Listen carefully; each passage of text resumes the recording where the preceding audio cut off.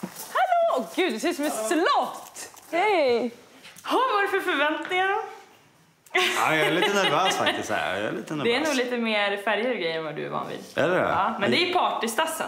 Är det partystassen? Ja. ja. Jag är ju väldigt svart och vit. Ja, jag vet det. Men det finns en svart och vit outfit. Och sen har jag ju tänkt att det ska, om du hittar något snyggt plagg som du kan ha på Daniels fest. Så det är tanken. Vi kör. Ja. Det är ju sånt här man behöver ibland för att man liksom kanske lätt fastnar i sin egen liksom, stil och kanske inte vågar ta ut svängarna. Men jag tror att Lisa är rätt person för Jocke just nu. Jag tror att hon har liksom, får in honom på ett nytt spår. Kommer jag tillbaka som en zebra. då. Ja, du är välkommen.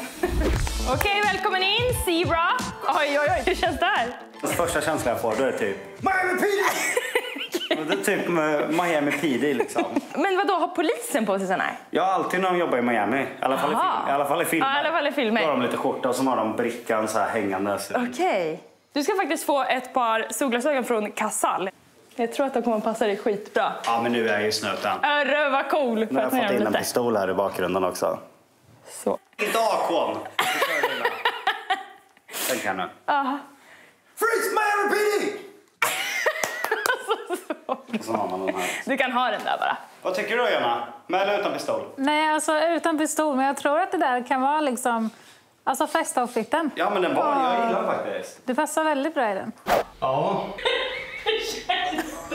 De var snabba. Ja, de där är snabba. De är otroligt snabba. Har du panik? Nej, men det känns lite som att jag nu är killen som inte accepterat riktigt min ålder. Okej. Han ser helt skel ut. Men jag tänker att du ska ha dem lite, lite längre ner bara. Lite sådär. Tänk att du inte hade träffat mig och jag bara gick förbi det så här. Kolla.